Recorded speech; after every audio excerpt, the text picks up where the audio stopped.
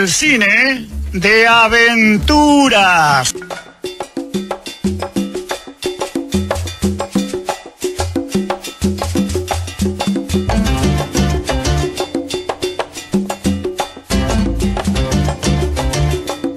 Y hoy vamos a recordar la película Timbuktu.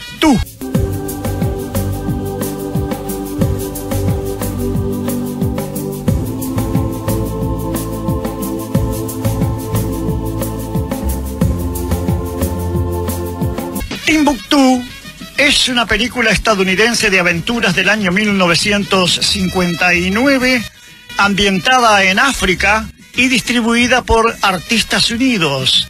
Fue filmada en blanco y negro, con 91 minutos de duración, producida por Edward Small y dirigida por Jacques Tourneur, sobre guion de Paul Dudley y Anthony Bowler cuya fotografía estuvo a cargo de Maury Hersman y la música fue compuesta por Gerard Friet.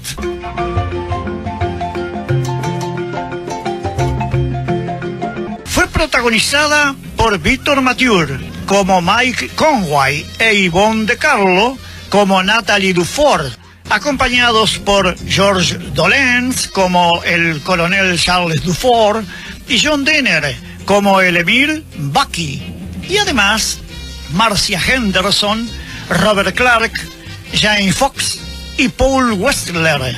Y no acreditados participaron Mark Dana, Stevie Darrell y Leonard Mudle como Mohamed Adjani.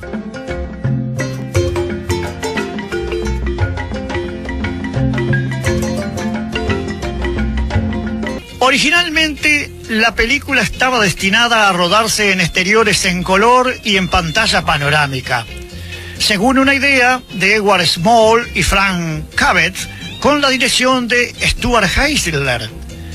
Luego hubo un guion escrito por Horace McCoy y que Clarence Green y Russell Rose serían los directores, que ya habían trabajado con el productor Edward Small, quien en 1956 registró varios títulos tentativos.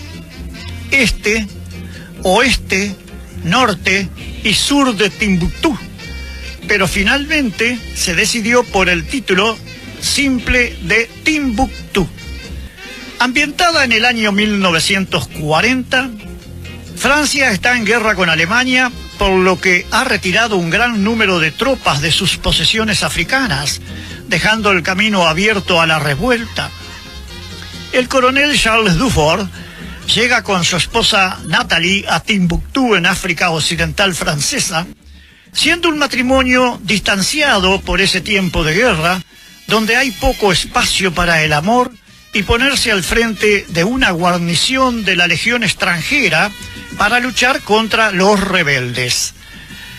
Allí se encuentra el estadounidense Mike Conway, que luce un sombrero holgado y una chaqueta de campo, dedicado al tráfico ilícito de armas pequeñas y municiones de contrabando para los tuareg hostiles, siempre armado con una ametralladora Thompson y de un reloj pulsera con alarma, quien empeorará las cosas porque siente una irresistible atracción hacia Natalie, sentimiento que no es ocultado por ella, quien confiesa a su marido que se siente atraída por Mike Conway. El coronel Dufort, que aún ama a su esposa, le pedirá que aproveche dicha atracción para así obtener a Mike Conway como un fuerte aliado contra los insurgentes, liderados por el despótico tuareg antifrancés Emir Baki, ansioso por el suministro de armas, quien amenaza la paz siendo el auténtico artífice del levantamiento. Emir Baku secuestra a un imán moderado, el líder religioso Mohamed Ajani, que predica y que desea dicha paz. El relato en su instancia inicial provoca cierto rechazo, pero poco a poco va tomando forma, volviéndose más densa e interesante la historia con un tono casi de western por cambio de ritmo, donde se vuelve a lucir Jacques Tourneur con el desarrollo de grandes batallas en el desierto, incluyendo cierto suspenso hasta el tramo final con un desenlace intenso. El rodaje comenzó en el mes de mayo de 1958 y si bien la historia está ambientada en África, se filmó en el Parque Estatal Coral Pink Sandunes de Canap en Utah. Timbuktu es uno de los trabajos menores dentro de la filmografía del director Jacques Tourneur, realizador de El Camino del Gaucho, y comentó que el productor Edward Small pensó que la película no iba a ser lo suficientemente larga, por lo que insertó tomas de primeros planos de varios de los actores a lo largo del relato que afectaron el ritmo. Y luego del montaje se sintió tan avergonzado por el resultado y eliminó su nombre de los créditos finales. Jacques Tourneur se muestra menos inspirado que en otras películas anteriores suyas, pero con todo deja algunas secuencias para el recuerdo, como la escena sumamente interesante y de gran tensión que es la de las arañas de tortura. Timbuktu fue estrenada en los Estados Unidos el 22 de noviembre de 1959 y en la Argentina se estrenó el 30 de junio de 1959 en el cine París de la ciudad de Buenos Aires.